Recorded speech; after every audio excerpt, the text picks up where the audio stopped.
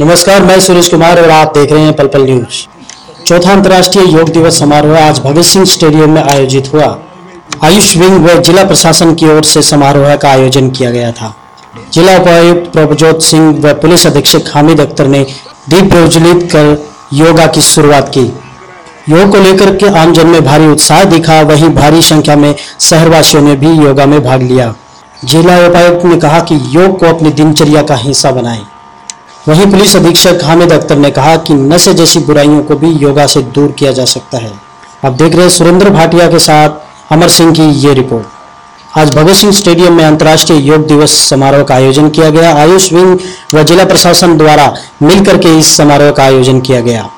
उपायुक्त प्रभजोत सिंह व पुलिस अधीक्षक हामिद अख्तर ने दीप प्रज्वलित कर योगा की शुभारंभ की।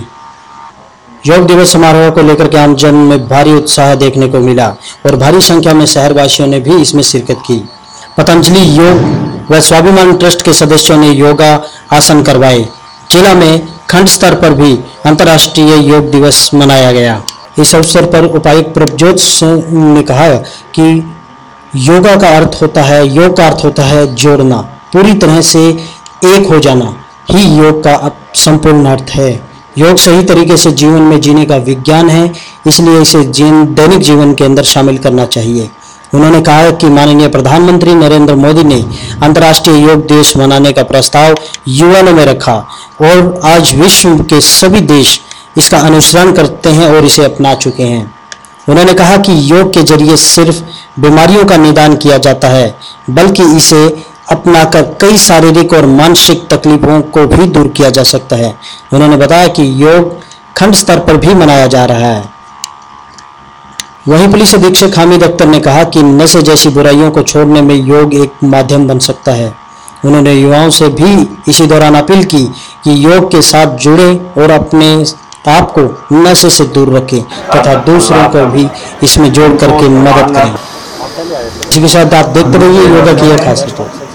दोनों उंगलियों को उठाते हुए जीव के साथ सीटीएम साहब, डॉक्टर गिरीश जी, उपायुक्त महोदय, जो कि आज के कार्यक्रम के मुख्य अतिथि थे, उनको अधीक्षक श्री हमीद अख्तर जी को सीटीएम साहब डॉक्टर गिरीश चौधरी जी। आज अंतर्राष्ट्रीय योग दिवस पूरे ज़िले में बहुत ही अच्छे तरीके से मनाया जा रहा है। मैं सभी जिला वासियों को चौथे अंतर्राष्ट्रीय योग दिवस की बधाई देता हूँ। माननीय प्रधानमंत्री जी आज देहरादून में योग दिवस मना रहे हैं। माननीय मुख्यमंत्री जी झज्जर में मना रहे हैं। और जिला स्तर पे, उपमंडल स्तर पे, ब्लॉक स्तर पे इसको मनाया जा रहा है। उसके लिए मैं सभी जिला वासियों से आग्रह भी करता हूँ कि योग को अपनी डेली दिनचर्या का हिस्सा बनाएँ। ये एक ऐसी प्रक्रिया है जो हम कभी भी और कहीं भी कर सकते हैं और किसी भी आयु का व्यक्ति इसको कर सकता है। इसके लिए कोई आयु निर्धारित नहीं है। छोटे से छोटा और बड़े से बड़ा व्यक्ति कर सकता है। मैं पतंजलि योग समिति की तरफ़ से स्वामी रामदेव जी का, उनके पूरी टीम का यहाँ पर आने पर बहुत बहुत आभार व्यक्त करता हूँ। उन्होंने हमें बहुत अच्छे से पूरा प्रोटोकॉल सिखाया है। माननीय एसपी साहब का पूरी पूरी पूरी पुलिस की टीम का पूरे सुरक्षा प्रबंध मेंटेन करने के लिए, हमारे जिला स्तर के सभी अधिकारियों का, क्योंकि रात को बारिश हो गई थी तो हमें सारा एक बार सेटअप चेंज करना पड़ा। उसके लिए मैं सबका आभार व्यक्त करता हूँ। सिरसा ज़िले के जितने लोग, बच्चे यहाँ पे आए हैं, योग करने के लिए हमारे साथ उनका आभार व्यक्त करता हूँ। सभी से आग्रह करता हूँ, योग को अपना डेली दिनचर्या का हिस्सा बनाएँ, इसको एक दिन की एक्टिविटी ना बनाएँ डेली इसको डेली करें। इसको और नशा करने वालों से स्पेशल आग्रह करना चाहूँगा, नशों से दूर रहें, योग से जुड़ें।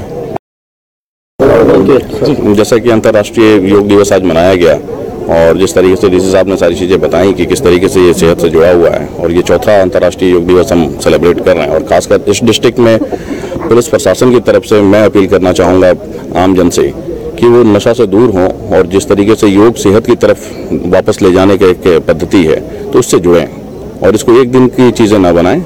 इसको साल भर अपने आ, अपने से जोड़ें इसको पूरे परिवार को इससे जोड़ के रखें और सेहतमंद रहें। धन्यवाद।